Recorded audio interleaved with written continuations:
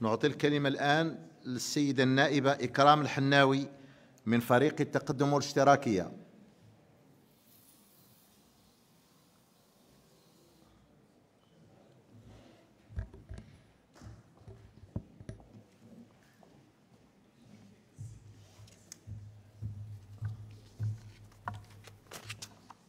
تفضلي السيدة النائبة.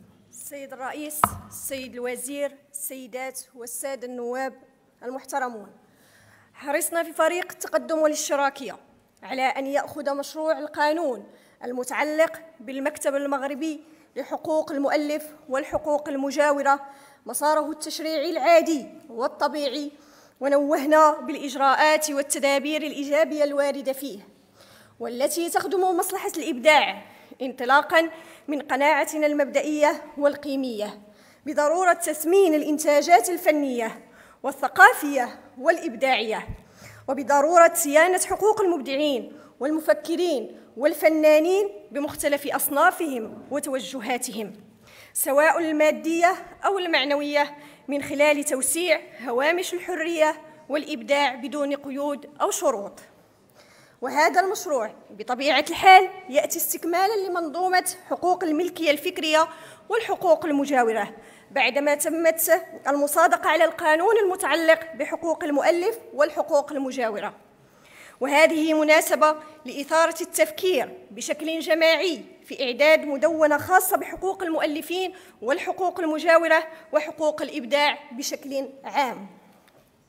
ونحن في فريق التقدم والاشتراكية.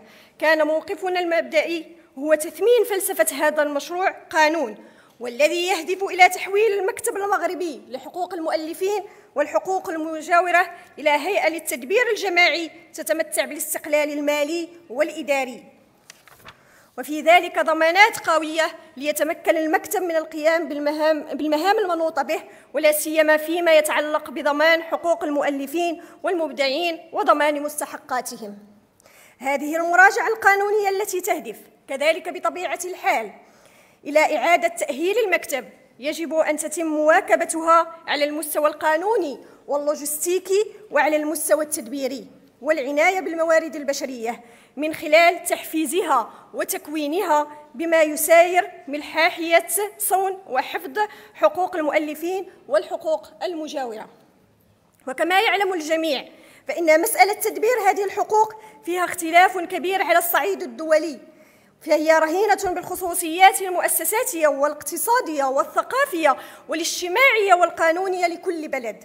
فهناك عدة تجارب مقارنة يتم اللجوء فيها إلى الشركات الخاصة والتي تعتبرها هي النموذج الملائم بالنظر إلى طبيعة الحقوق التي يتم تدبيرها وهي في حد ذاتها مصالح خاصة للمؤلفين. فهن في حين أنه في بعض التجارب الأخرى تتخذ هذه الهيئات طابعا شبه عمومي وتساهم الدولة في تأطير عمل هذه الهيئات بصورة مباشرة. أما الصنف الآخر من التجارب فإن معظم هذه الهيئات تخول نظام المؤسسة العمومية ويمكن اعتباره النموذج الأكثر ملائمة مع عدة معطيات فيما يخص حماية حقوق المؤلفين. وعموما سيكون لهذا القانون دور هام في جبر الضرر الذي يلحق بالمؤلفين وذوي الحقوق المجاورة خاصة في ظل تصاعد أعمال القرصنة والانتشار المتصاعد لعمليات استنساخ المصنفات سواء من طرف الخواص لأغراض الاستعمال الشخصي أو للتجار غير المشروع. لذلك فإننا في فريق التقدم والاشتراكية نعتبر بأن هذا المشروع نعتبر بأن هذا القانون ستكون له قيمة مضافة لتعزيز منظومة حقوق الملكية الفكرية خاصة وأن بلادنا تتوفر على تجربة وتراكم مهمين في هذا المجال وتستجيب على الأقل للحد الأدنى من المعايير المتعارف عليها عالميا ويتم العمل بها في الكثير من المنظومات القانونية ذات الصلة.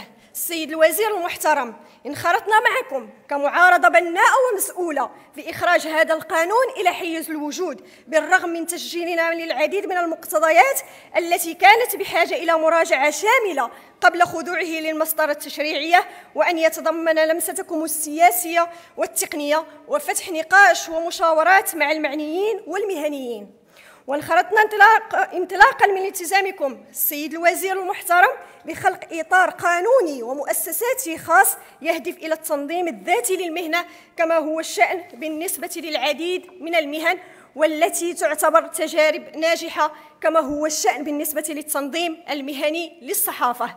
وانخرطنا كذلك من أجل إيقاف نزيف مختلف الأضرار المادية والمعنوية التي تلحق بذوي الحقوق من من مؤلفين وفناني الأداء ومنتجين على حد سواء في غياب آليات ناجحة وفعالة لحمايتهم من القرصنة والتحريف والتحايل على الإشهار أو عدم أخذ الإذن من صاحب العمل أو من ذويه. ونتمنى صادقين أن تكون هذه المبادرة التشريعية مبادرة لرد الاعتبار إليهم من خلال إشراكهم في التدبير والتسيير وتبسيط المساطر الإدارية.